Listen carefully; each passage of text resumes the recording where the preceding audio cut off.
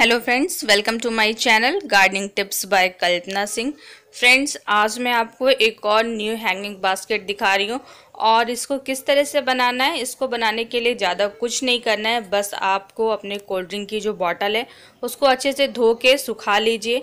जब वो सूख जाए, तब ऊपर से उसका पोर्शन कट कर दीजिए और नीचे से कुछ ड्रेनेज बिल्कुल छोटे छोटे से ड्रेनेज बना दीजिए। उसके बाद उसे इस तरह से कोई भी कलर हो आपके पास फैब्रिक उसे अच्छे से फैब्रिक कलर से कलर कर दीजिए।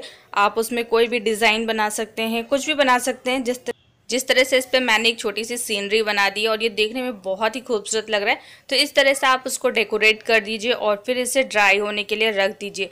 जब ये सूख जाए तो फिर इसमें हैंग करने के लिए दो रस्सी लगा दीजिए। कोई भी डोरी आप लगा सकते हैं प्लास्टिक की या कपड़े की।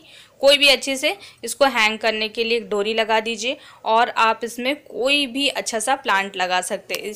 तो आप इसमें इंडोर प्लांट्स भी लगा सकते हैं आउटडोर प्लांट्स भी लगा सकते हैं। तो आप जिस तरह का भी प्लांट चाहें इसमें लगा सकते हैं और उसकी ग्रोथ बहुत ही अच्छी होगी। तो इस तरह से आप भी वेस्ट जो बॉटल्स होती हैं, उनको यूज़ करके अपने गार्डन को बहुत ही खूबसूरत बना सकते हैं। तो मेरा आज का वीडियो आपको कैसा लगा, मुझे कमेंट बॉक्स में कमेंट करिएगा। Thank you